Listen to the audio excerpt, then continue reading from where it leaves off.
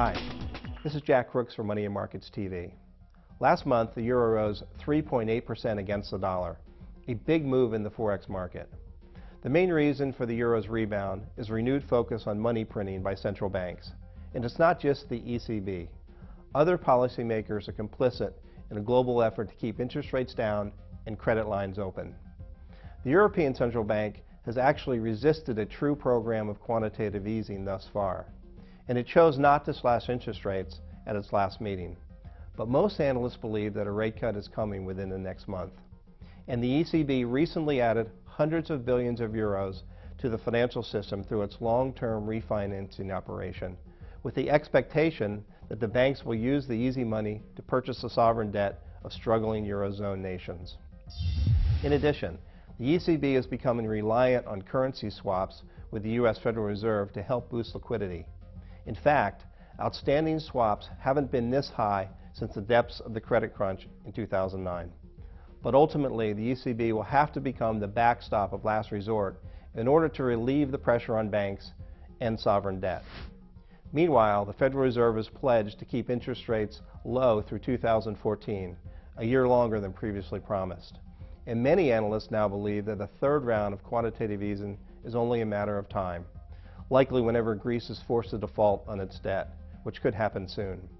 But as Mike Larson pointed out last week, the Fed's QE programs just prop up asset prices and do nothing to boost the real economy. So far, the world's focus has remained fixed on continental Europe, but it's the United Kingdom that's about to enter a technical recession. The Bank of England is expected to print another 50 billion pounds to try and shore up the budget to go along with increased taxes and spending cuts. Most of those spending cuts have yet to be implemented, which suggests that the British recession could go on for quite some time. Halfway around the world, the People's Bank of China is wrapped up in its own management efforts. It's trying to find a monetary policy that keeps growth strong but doesn't allow inflation to get out of control.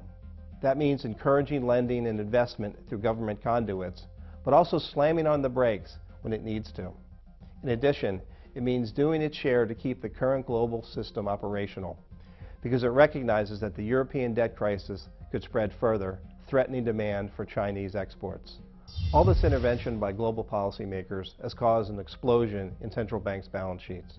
The world's eight biggest central banks have more than $15 trillion on their books, nearly triple the size of their balance sheets just six years ago. Despite all their money printing, we expect credit to keep tightening and deleveraging to continue, eventually overwhelming the impact of the central bank's efforts. But until that happens, the low interest rates and easy money will continue to prop up risk assets. For currency investors, that means that as long as the ECB is able to ward off contagion from the sovereign debt crisis, the euro should strengthen against the dollar. I'm Jack Crooks from Money and Markets TV. Thanks for watching.